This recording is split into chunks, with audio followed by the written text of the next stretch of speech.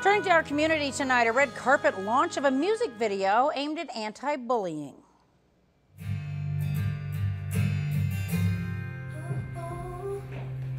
Okay, this song is actually called Raining Frogs, and it was the centerpiece of tonight's Jam for Joy. The video was shot and edited in a number of places around Reno using Reno Kids. They shot and edited the entire thing in 12 days. They say the point of the project is to raise money that'll be used to help kids who've been bullied fit in.